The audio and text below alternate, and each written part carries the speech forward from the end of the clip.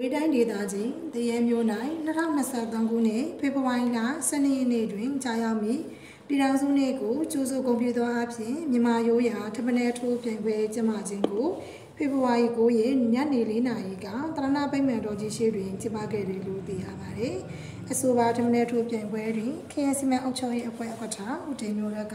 အဖွဲ့အမှားစကားပြောကြားပေးခဲ့ပြီးအကဲဖြတ်အတိုင်းအဖွဲ့ကောင်းဆောင် KNC မအုပ်ချုပ်ရေးအဖွဲ့အဖွဲ့ဝင်နှင့်ဦးဆိုလာမြင့်ကအမတ်ပေးအစည်းအဝေးများနဲ့ပတ်သက်၍ပြောကြားပေးခဲ့ပါတယ်။ဆက်လက်၍86နှစ်မြောက်ပြည်ထောင်စုနေ့အကျိုးထမင်းထိုးရှင်ပြရာခရိုင်နှင့်မြို့နယ်ထူထအုပ်ချုပ်ရေးဦးစီးဌာနခရိုင်နှင့်မြို့နယ်ရက်တဲ့ပွဲမှုရောခရိုင်နှင့်မြို့နယ်ပညာရေးမှုရောခရိုင်နှင့်မြို့နယ်လမ်းဦးစီးဌာနမြို့နယ်စီပင်တရားရေးအဖွဲ့ခရိုင်နှင့်မြို့နယ်လက်စီအဖွဲ့စိတ်ပြိုးရေးမွေးမြူရေးနှင့်ကုသရေးအဖွဲ့ငါးငွေဦးစီးဌာနခရိုင်စီမံကိန်းတတော်ဦးစီးဌာနခရိုင်မြို့နယ်ကျန်းမာရေးဦးစီးဌာနခရိုင်နှင့်မြို့နယ်အလုံသမားလူဝင်မှုကြီးကြပ်ရေးနှင့်ပြည်သူ့အင်အားဝန်ကြီးဌာနခရိုင်နှင့်မြို့နယ်ဆယ်မြောင်အကျဉ်းဦးစီးတို့မှဝင်ရောက်ရှင်ပြိုင်ကြရာပြိုင်ပွဲဝင်အသင်းများမှဆုရရှိသည့်အသင်းများအား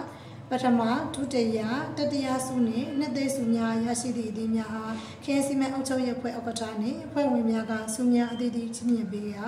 ဆုရရှိသည့်အသင်းများကဆုများလက်ခံပေးခဲ့ကြောင်းသိရပါတယ်။ဒီသင်းကိုတရက်ခရိုင်ပြန်ကြားရေးနှင့်ပြည်သူ့ဆက်ဆံရေးဦးစီးဌာနကရေကူပေးပို့တာဖြစ်ပါတယ်